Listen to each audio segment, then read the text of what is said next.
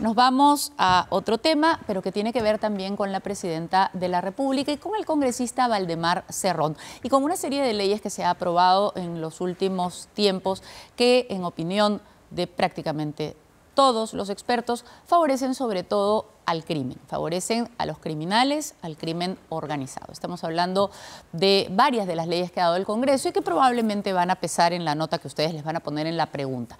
Pero el asunto es así. Eh, lo que tiene como premisa la Fiscalía es que Perú Libre es una organización criminal.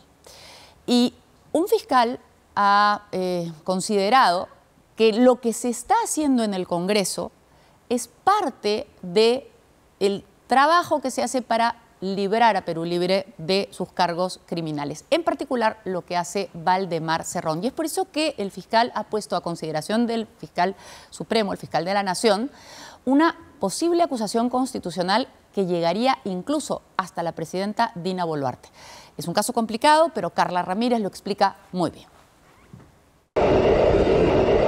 Sin duda que viajar en tren bala a 300 kilómetros por hora y casi casi palpar la más alta tecnología de China ha sido para la presidenta Dina Boluarte y su comitiva como estar en otro planeta.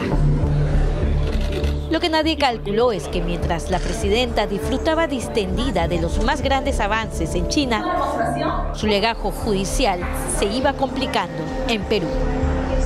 Aquí en la avenida Bancay, el fiscal de la Nación ha recibido en su despacho un informe que plantea denunciar constitucionalmente a la señora presidenta del Perú y a su ex correligionario y congresista Valdemar Cerro.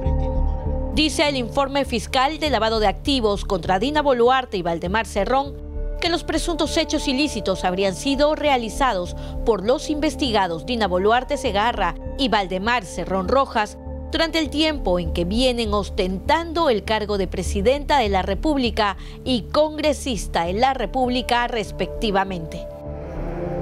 El pedido de denuncia contra la presidenta y el congresista Cerrón habla de una influencia de la organización criminal Perú Libre en la promulgación de leyes, una especie de brazo legal transversal entre el Congreso y el Ejecutivo. El informe de 200 páginas contra Boluarte y Cerrón nació aquí, en la primera Fiscalía de Lavado de Activos, donde desde el 2021 se investiga al líder de Perú Libre, Vladimir Cerrón, su hermano Valdemar Cerrón, la ex tesorera del partido, Dina Boluarte, y otros ex altos dirigentes en lo que es la presunta organización criminal Perú Libre.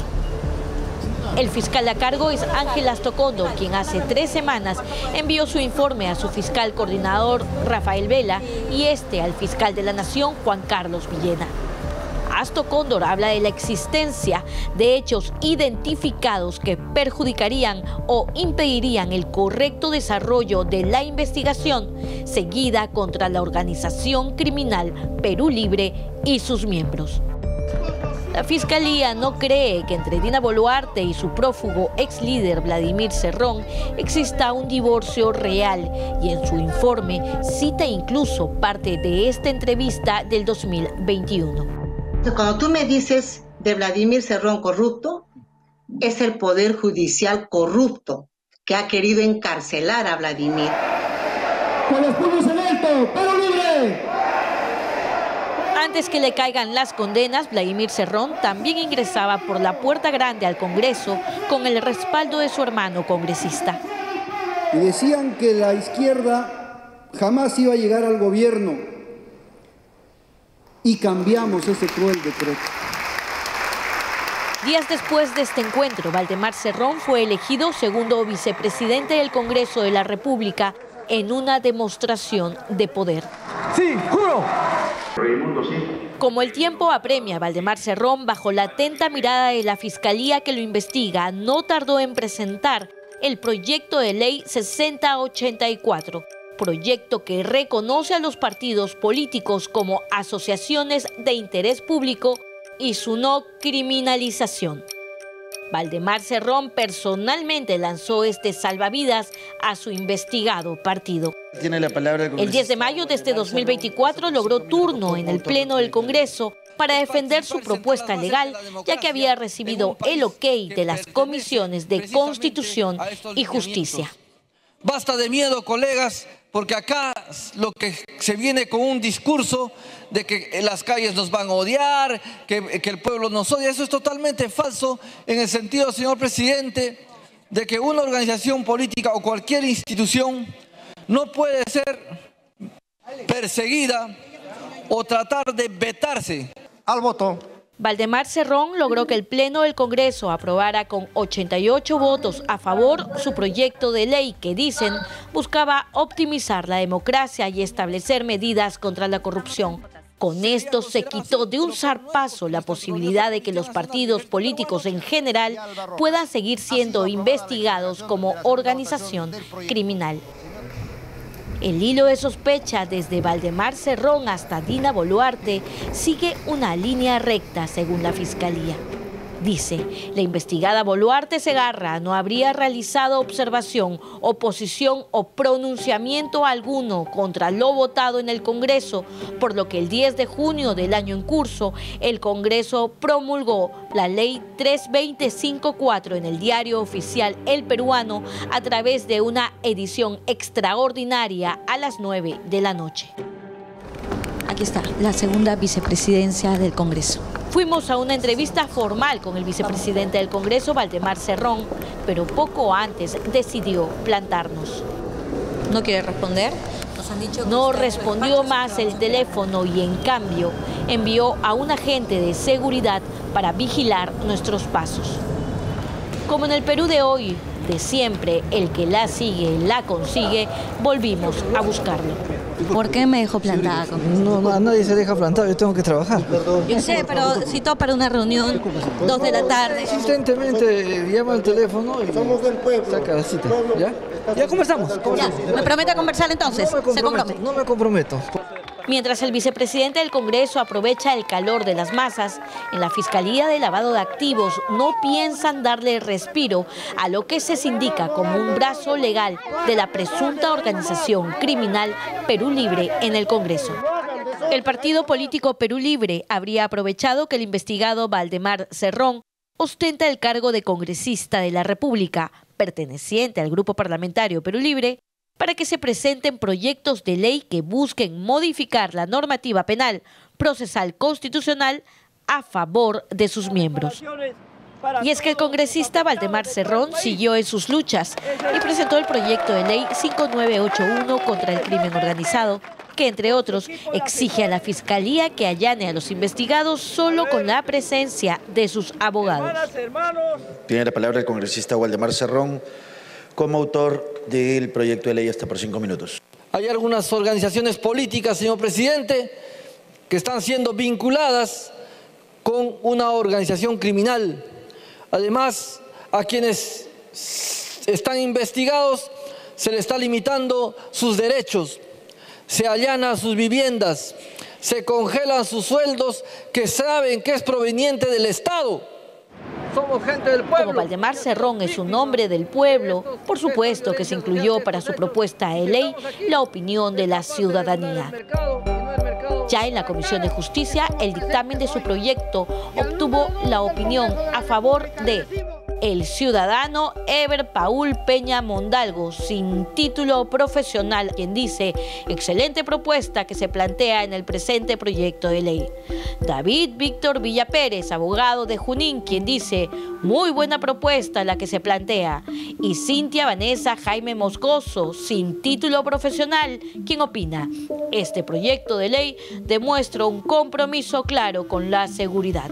La Fiscalía ha descubierto que estos ciudadanos opinan a favor del proyecto de Valdemar Cerrón, Ever Paul Peña Mondalgo y David Villapérez son militantes del partido Perú Libre desde el 2019 y 2020 respectivamente y que la joven Cintia Jaime Moscoso registra órdenes de servicio, contratos con el gobierno regional de Junín durante los años 2020 y 2022. El proyecto de ley que los amigos aprobaron lo objetó el Ministerio Público, el Colegio de Abogados y algunos pocos congresistas. Entonces, el registro se realiza con presencia del interesado y de su abogado. Entonces, cuando entraron a la casa de Dina Boluarte, eh, decían, no, no vamos a abrir hasta que llegue mi abogado, no vamos a abrir hasta que llegue mi abogado. Y claro, no llegó y plin, le abrieron la puerta, porque claro, si de lo que se trata es de encontrar lo que, lo que hay adentro sin que se preparen. Pero la propuesta de Valdemar Cerrón volvió a ganar aquel 30 de mayo en el Pleno del Congreso, con 52 votos a favor, 13 en contra y 32 abstenciones y este jueves, hace pocos días, fue ratificado en segunda votación por la Comisión Permanente del Congreso. Ese segundo salvavidas de Valdemar Cerrón y Dina Boluarte, entre otros investigados de la llamada organización criminal Perú Libre, es causal ahora de una denuncia según la tesis fiscal. Dice el informe de lavado de activos. Existe la sospecha de la posible existencia de un agravio y perjuicio al presente caso por parte de los investigados Dina Boluarte y Valdemar Cerrón, personas vinculadas a la presunta organización criminal denominada Perú Libre. Afuera, el vicepresidente del Congreso sigue siendo flanqueado ya por tres hombres de seguridad. Es momento de aprovechar el tumulto. Congresista, bueno, ya que no nos quiere dar entrevista, es rigor preguntar. Usted sabe que hay un informe en la Fiscalía de la Nación para denunciarlo a usted y a la presidenta Ina Boluarte por exonerar a Perú Libre de, oh, digamos, la tipificación de organización criminal. Esa es una ley que usted propuso. Bueno, yo no sé la acusación fiscal que usted dice, pero yo le pedí una entrevista en el set. ¿no? ¿Usted quiere estar en set? En vivo, porque si no... ¿Y por qué se niega a responder? ¿Qué, ¿Qué cosa tergiversaríamos, por ejemplo? En el set. ¿Qué cosa tergiversaríamos? Le espero en estudios. Usted tiene a trabajadores de Perú Libre que están siendo investigados o son testigos que no están yendo a declarar, se están negando a declarar o se acogen al silencio. Usted los ha contratado en la bancada.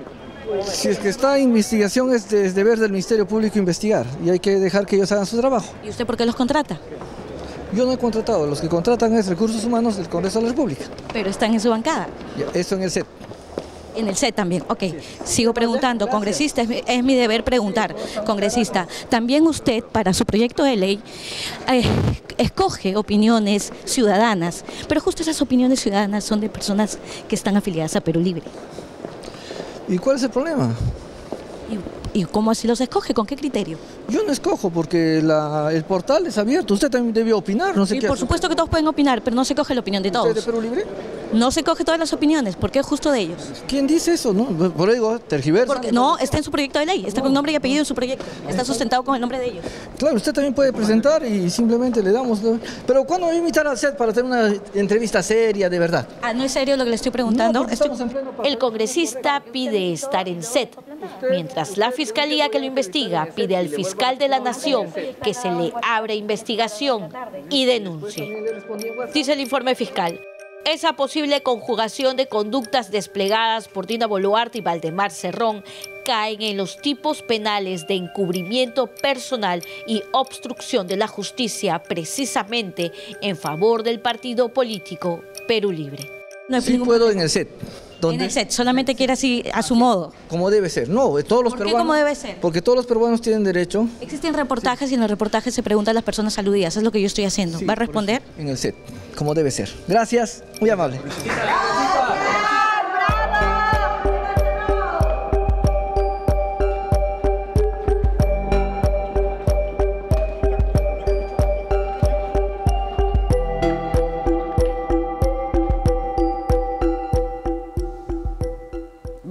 la respuesta del congresista. Él cree que en el SET debe ser. No, señor, no debe ser así. Lo que debe ser es que los funcionarios públicos deben responder ante las preguntas de la prensa porque los reporteros son los representantes de los intereses ciudadanos en este caso.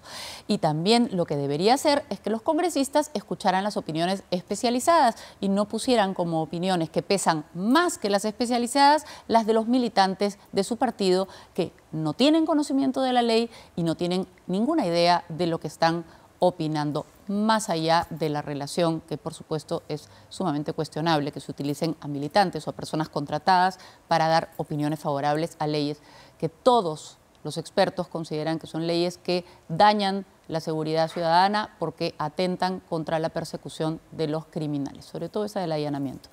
Pero bueno, esa por suerte, para que se queden tranquilos, probablemente no se va a aplicar porque es absolutamente ridícula, la verdad, ningún juez va a, a hacerle caso a eso, creemos.